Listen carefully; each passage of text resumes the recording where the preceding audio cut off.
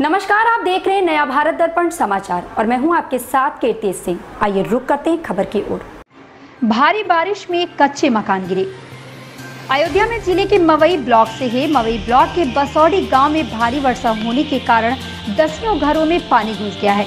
जिसके कारण कई लोगों के कच्चे मकान गिर गए हैं और कई लोगों के मकान गिरने का अंदेशा है। कारण पानी निकासी ना होने की वजह से है। कच्चे मकान में रहने वाले लोग घर गिरने के अंदेशे की वजह से मैदान में ज़िंदगी बसर करने पर मजबूर हैं। घर गिरने वालों में ताजमुल शाह अजमत शाह का मकान पूरी तरह गिर गया है। इनके अलावा गाँव में कई लोगों के मकानों की दीवारें गिर गई हैं। दसों घरों के लोगों को घर से रोड पर निकलने में काफ़ी दुश्वारी का सामना करना पड़ रहा है। मगर अभी तक ग्राम पंचायत लेवल का कोई अधिकारी व ब्लॉक लेवल का कोई अधिकारी मौके पर नहीं पहुँचा है।